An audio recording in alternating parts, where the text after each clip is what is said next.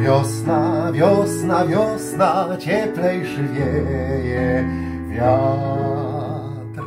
Dzień dobry Państwu. Jestem w wiosennym nastroju. Aż szkoda, że to nie prima aprilis. Jak to dobrze, jak cudownie, koleżanko i kolego, że w tym, co się dzieje w kraju, nie ma nic wyjątkowego. Cieszę się w promyki patrząc w stronę wiosennego słonka, że to nie ograniczenia, to są od ograniczonka. W czasie, gdy padają ludzie, a medycy są u kresu, dobrze mieć u steru ludzi, wprawnych w drodze do sukcesu. Bo cóż w tym wyjątkowego? Wirus, frajer, gadka, szmatka. Przecież całkiem to normalne, że kraj leży na łopatkach.